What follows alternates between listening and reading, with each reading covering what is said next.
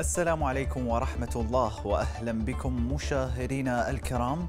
استعراض أبرز ما جاء في طيات الصحافة المحلية لمملكة البحرين. لهذا اليوم الأربعاء الموافق للسادس من شهر يناير لعام 2021 على الله توكلنا مشاهدينا. ونبدأ مع صحيفة أخبار الخليج والتي نشرت. الملك أيده الله يهنئ خادم الحرمين الشريفين بنجاح قمة العلا. وإلى صحيفة الأيام والتي استهلت في أولى صفحاتها لهذا اليوم. القمة تهنئ الملك على استلام مملكة البحرين لرئاسة الدورة الحادية والأربعين. تسعة أندية جاهزة للتحول إلى شركات ومع صحيفة الوطن والتي استهلت. ولي العهد رئيس الوزراء نتطلع لتكون مخرجات قمة العلا انطلاقة عودة اللحمة الخليجية. أما صحيفة البلاد فقد بينت. دول الخليج توقع بيان العلا لتأكيد التضامن والاستقرار.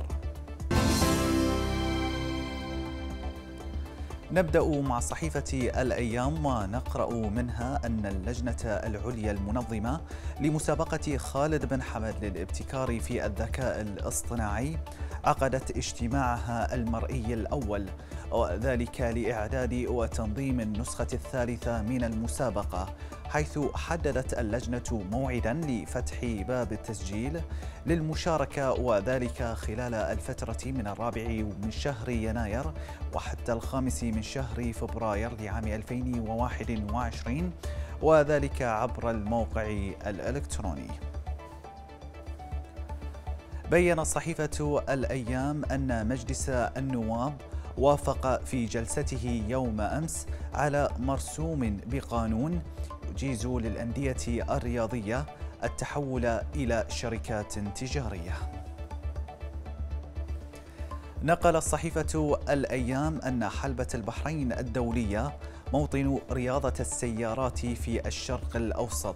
تستضيف النسخة الأولى من سباق الخليج لاثنتي عشرة ساعة وذلك ضمن أولى الفعاليات للعام الجديد وذلك من السابع وحتى التاسع من شهر يناير الجاري إلى أخبار صحيفة الوطن ونطالع منها أن وزير الإسكان باسم الحمر كشف عن وجود مشروع مستقبلي في هورة سند خلال توفير 400 وحدة سكنية.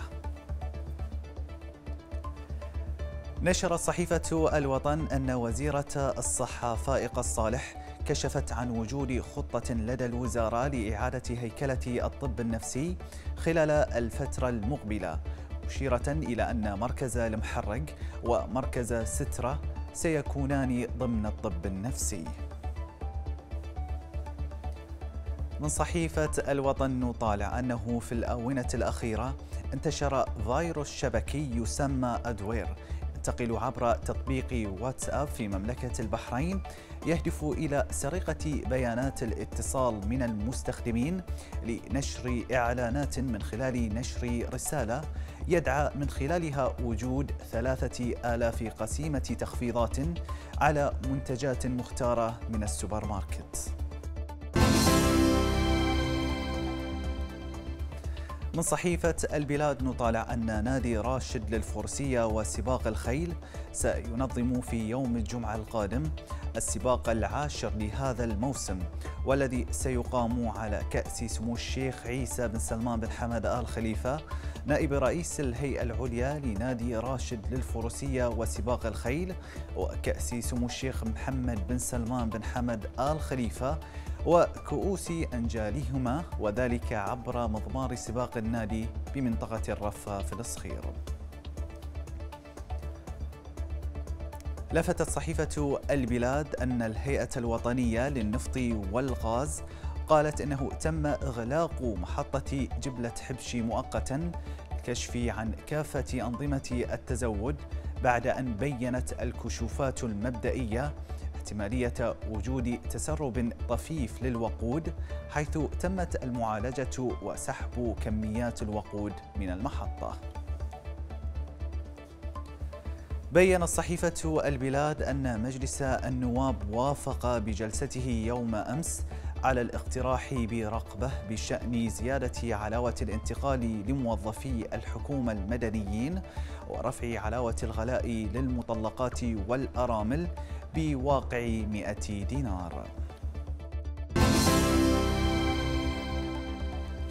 نتحول مشاهدينا إلى صحيفة أخبار الخليج ونقرأ منها أن وزارة الصحة أكدت فعالية لقاح فيروس كورونا المستجد لا تتم إلا بأخذ الجرعتين داعية الحاصلين على الجرعة الأولى من التطعيم إلى أخذ الجرعة الثانية حيث يبدأ الجسم بتكوين الأجسام المضادة في اليوم الخامس والثلاثين بعد الحصول على اللقاح. بقلم الكاتبة طفل الخليفة. نشر الصحيفة أخبار الخليج مقالا لها بعنوان بيئة. فإلى المقال. حرصت البحرين منذ فترة ليست بالقصيرة على الاهتمام بشؤون البيئة سواء من جانب نشر التوعية أو وضع التشريعات والبرامج ما يؤكد اهتمامها بمشاركة العالم الحفاظ على بيئة عالمية نظيفة ومتجددة. من اهتمامات البحرين في هذا المجال قيامها بالعمل على توفير الطاقة الشمسية وجعلها جزءا من الطاقة التي يتم استخدامها لتوفير طاقة نظيفة في الأجواء. وكذلك وضع التشريعات التي تمنع المواد التي لا تتحلل والاعتماد على المواد غير الضارة بالبيئة. وقد أثمرت جهود المملكة الكثير خاصة بالنسبة لموضوع التوعية بأهمية الحفاظ على بيئة البحرين وعلى بيئة العالم نظيفة حيث بات هناك العديد. من الشباب ممن يواصلون القيام بالحملات لتنظيف الشواطئ والحدائق والطرق. ومن الصفحة الاقتصادية لصحيفة أخبار الخليج نطالع أن الأسواق المحلية شهدت يوم أمس ارتفاعا في أسعار المعدن الأصفر وذلك بسبب ارتفاعها في الأسواق العالمية. حيث وصل سعر جرام الذهب عيار 21 إلى 20 ديناراً و800 فلس بحريني. هذا وقد بدأت الأسعار في الارتفاع منذ بداية دخول السنة الجديدة. إلى هنا مشاهدينا نكون قد وصلنا إلى ختام برنامج صحافتكم لهذا اليوم. ولمزيد من الأخبار والمستجدات. بالإمكان متابعة القنوات التفاعلية لمركز الأخبار على مواقع التواصل الاجتماعي الظاهرة على الشاشة كما بالإمكان متابعة باقة البرامج والبث المباشر عبر تطبيق BHTV and Radio وموقع live dot bh. شكرا لكم على طيب المتابعة وإلى اللقاء.